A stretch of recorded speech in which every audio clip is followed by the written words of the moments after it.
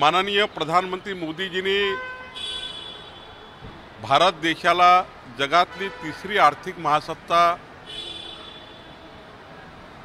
आणि त्याकरता जे काम सुरू केलं आहे आणि लोकसभा निवडणुकीत जो मॅनिफेस्टो जो जाहीरनामा मोदीजींनी दिला होता तो जाहीरनामा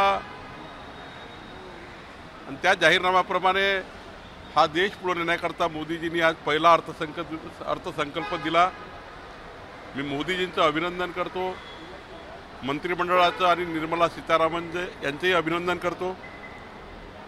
या देशाच्या आमच्या बहिणींना शेतकरी शेतमजुरांना प्रधानमंत्री आवास योजनेमधल्या तीन कोटी घरांना प्रधानमंत्री सूर्यघर योजनेला अशा विदर्भ मराठवाडा उत्तर महाराष्ट्राला आणि मुंबईसहित महाराष्ट्राला मेट्रोपासून तर त्या ठिकाणी रस्त्यापर्यंत ग्रामीण रस्त्यापासून तर या महाराष्ट्राच्या विकासाचा एक मोठा संकल्प अर्थसंकल्प मोदीजींनी दिला आहे.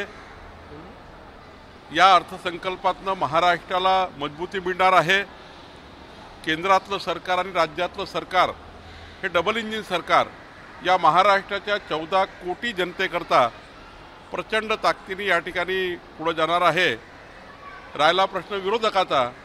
विरोधक हे नेहमीच टीका करत असतात त्यांचा भोंगा वाजतच राहणार आहे. पण त्या भोंग्याकडे बघण्याचा काही अर्थ नाही. खरं तर जे लोक आज या अर्थसंकल्पावर टीका करतात त्यांनी कधी गरीब कल्याणाचा विचार विचार केला नाही. त्यांनी मध्यमवर्गीयाचा विचार केला नाही. कधी इन्कम टॅक्समधनं लोकांना सूट द्यावी असा विचार केला नाही. आज मोदीजींनी मध्यमवर्गीय आर्थिक दुर्बल परिवारांना प्रचंड मोठी इन्कम टॅक्समधून सूट दिली आहे. युवकांना रोजगार देणे युवकांना रोजगाराच्या संधी उपलब्ध करणे आणि मोठ्या प्रमाणावर या ठिकाणी बजेट आपण बघितलं आहे त्यामुळं जास्त विस्तृत मी बोलणार नाही. पण या महाराष्ट्रालासुद्धा विदर्भालासुद्धा खूप मोठा न्याय सिंचन प्रकल्पापासून सर्वांनाच मिळाला आहे. देवेंद्र फडणवीस हे अमित शहा यांच्या मनातले मुख्यमंत्री नाही असं संजय राऊत म्हणाले. तुम्ही संजय राऊतांवर बोलत नाही फार आज बोलणार आहात त्याच्यावर असं आहे की माननीय अमितभाईंनी स्पष्टपणे सांगितलं की महायुतीचं सरकार येणार आहे. आणि त्यामुळं महायुतीचं सरकार आल्यानंतर मुख्यमंत्री पदाकरता कुणाचाही वाद नाही आहे एकनाथ शिंदे मुख्यमंत्री आहेत. आणि भाजपाचं जास्त मतदारसंघ असल्यामुळे भाजप जास्त सीट असल्यामुळे साधारण भाजपच्या नेतृत्वाचं सरकार येतं. त्यामुळं संजय राऊतांनी पहिले आपल्या महाविकास आघाडीकडे बघावं. महाविकास आघाडीमध्ये दहा मुख्यमंत्री तयार झाले आहेत. काँग्रेसमध्ये तीन राष्ट्रवादीमध्ये तीन उबाटामध्ये तीन असे मुख्यमंत्री तयार झाले आहेत. आमच्याकडे मुख्यमंत्री पदाची कुठलीही शर्यत ना भाजपमध्ये आहे. आमचे नेते एकमेव नेते देवेंद्रजी राज्याचे नेते आहेत. एकनाथ शिंदे मुख्यमंत्री आहेत. अजितदादा उपमुख्यमंत्री आहे. आमच्याकडे कुठलेही कॉम्पिटिशन मुख्यमंत्री पदाकरता नाही. आणि त्यामुळं या ठिकाणी त्यांनी अन त्यांनी आपल्या महाविकास आघाडीच्या अंतर्गत भांडणाकडे लक्ष द्यावं. ते म्हटले की सात अं, चेहरे आहेत जे मुख्यमंत्री पदाचे चेहरे आहेत तुमच्या पक्षामध्ये. आमच्या भाजपमध्ये कुठलीही कॉम्पिटिशन कधीच नव्हती. नाही देवेंद्रजी एकमेव नेते आहे. त्यानंतर राहिला प्रश्न एकनाथ शिंदेजी मुख्यमंत्री आहेत. अजितदादा डेप्टी सी एम आहेत. कुणाची मुख्यमंत्री पदाकरता फार लालसा नाही आहे. पहिला प्रश्न असा आहे की केंद्रातलं सरकार पुढचे पाच वर्ष आहे.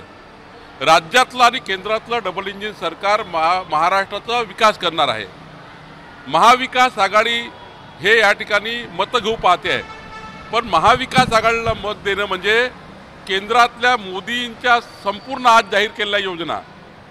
माननीय एकनाथ शिंदे सरकारच्या संपूर्ण योजना जसं आज अंगणवाडीच्या सेविकेकरता मोठ्या प्रमाणावर पर्यवेक्षकाकरता आज त्या ठिकाणी इन्शुरन्सची योजना दिली जी अनेक वर्षापासून प्रलंबित होती.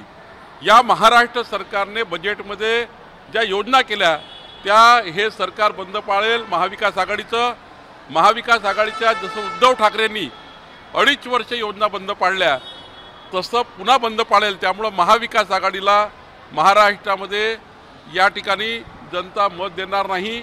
महायुतीलाच मत देईल आणि डबल इंजिन सरकार महाराष्ट्राचं भलं करेल.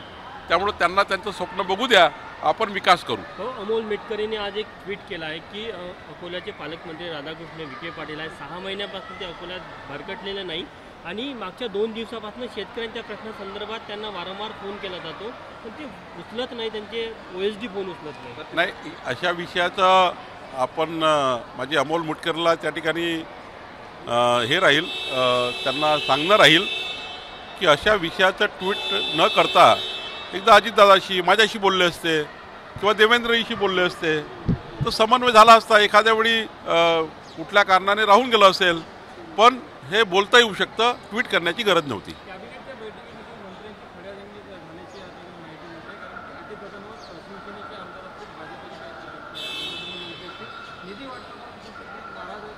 काही बातम्या येतात तो बाहेर मंत्रिमंडळामधल्या. जे झालं नाही त्या बातम्या येतात.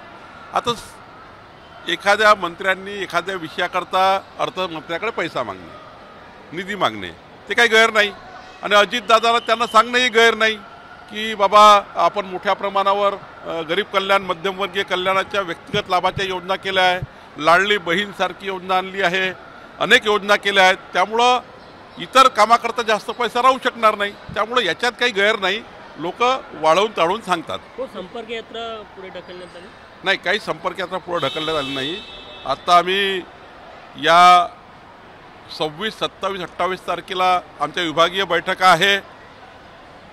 त्यानंतर आमची जी कार्यकर्ता संवाद बैठकी आहेत जिल्ह्याच्या दीड हजार हजार पदाधिकारी कार्यकर्त्यांच्या त्या साधारण एक दोन तीन तारखेला संपूर्ण एकोणसत्तर जिल्ह्यात आहे.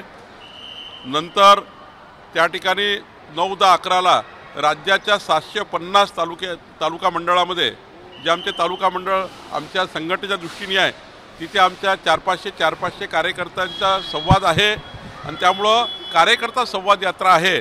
आणि नंतर मात्र मग आम्ही प्रत्येक घरी दोन्ही सरकारचं बजेट दोन्ही सरकारचे कामं आणि पुढच्या काळामध्ये घरोघरी जाऊन घरचलो अभियान करणार संवाद यात्रा करणार. पण संवाद यात्रा यात्रेचं स्वरूप नाही आहे पहिल्या टप्प्यात कार्यकर्ता संवाद जे आम्ही साडेसातशे तालुक्या मंडळापर्यंत पाच पाचशे पदाधिकाऱ्यांच्या कार्यकर्त्याच्या बैठकीमध्ये जिल्ह्याच्या बैठकीमध्ये आणि नंतर मात्र घरोघरी जाणार आहोत. संघ आणि भाजपच्या पदाधिकाऱ्यांची बैठक झाली. काय समन्वय बैठक होती? काय विषय होता? विचार परिवारासोबत आमची नेहमीच बैठक होतं. ही काही नवीन बैठक नाही. शेवटी लोकसभेच्या निवडणुकीचं त्या ठिकाणी विश्लेषण येणाऱ्या बजेटमधल्या आणि सरकारच्या बजेटमध्ये आदिवासी भागातल्या जनतेला कसा फायदा होईल? शेड्यूल कास्टच्या जनतेला कसा फायदा होईल? विचार परिवार हा समाजाच्या कल्याणाकरता राष्ट्र कल्याणाकरता समाज कल्याणाकरता भारतीय जनता पक्ष पक्षानं काय अपेक्षित काम केलं याचा नेहमी समन्वय होत असतो.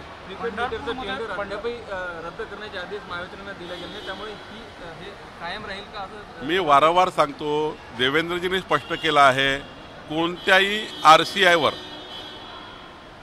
हे रेसिडेन्शियल कनेक्शनला स्मार्ट मीटर नाही. इंडस्ट्रीलाच ते स्मार्ट मीटर आहे. त्या ठिकाणी मोठ्या प्रमाणावर त्या ठिकाणी कॉमर्शियल जे हे आहे त्यांना स्मार्ट मीटर आहे. त्यामुळं विरोधक आता काही काही नरेटिव्ह सेट करतात. विरोधक लोकांना कन्फ्यूज करतात. त्यांनी लोकसभेत जसं कन्फ्यूज केलं आता ते विरोध मीटरचं सांगतात. आता काही काही सांगतात. पण जेवढं खोटं बोलायचं त्यांनी लोकसभेत खोटं बोलले. खटाखट खटाखट खटाखट साडेआठ हजार देऊ. खोटं बोलले महिलांना बहिणींना आणि आता तर ते गायब झाले. या महाविकास आघाडीच्या एकतीस खासदारांना जे मतं घेतले खासदारांनी त्यांनी आपापल्या मतदारसंघात साडेआठ हजार साडेआठ हजार खटाखट गेले पडून गेले महाविकास आघाडीचे खासदार. आणि त्यामुळं आता आमच्या मुख्यमंत्री एकनाथ शिंदेनी चांगली योजना आणली आमच्या बहिणीकरता आज मोदीजींनी चांगल्या योजना दिल्या महि आमच्या बहिणीकरता हा ना महाराष्ट्र आणि देश समृद्ध होईल. विधानसभेची बैठक झाली. त्यात महायुतीचे काही मंत्री देखील होते. तर तसं ठरवण्यात आलेलं आहे की विधानसभा महायुतीच्या उमेदवारांना निवडून द्यायचं. असं आहे की मराठा समाजाचं सामाजिक आरा- सामाजिक आंदोलन आहे. आणि सामाजिक आंदोलनामध्ये सर्वच लोकांना जाण्याची मुभा आहे. त्यामुळं आम्ही कुठल्याही आपल्या नेत्यांना थांबवत नाही. ओबीसी समाजाचा आरक्षणाचा प्रश्न आहे. तिथे आमचे ओबीसी लोक जातात. मराठा समाजात मराठा समाजात लोक जातात. त्यामुळं सामाजिक आंदोलनामध्ये आपापल्या समाजाला भलं करून देण्याकरता त्या त्या नेतृत्वाने लढलं पाहिजे आणि त्याला भारतीय जनता पार्टीचं समर्थन आहे. एबीपी माझा उघडा डोळे बघा नीट.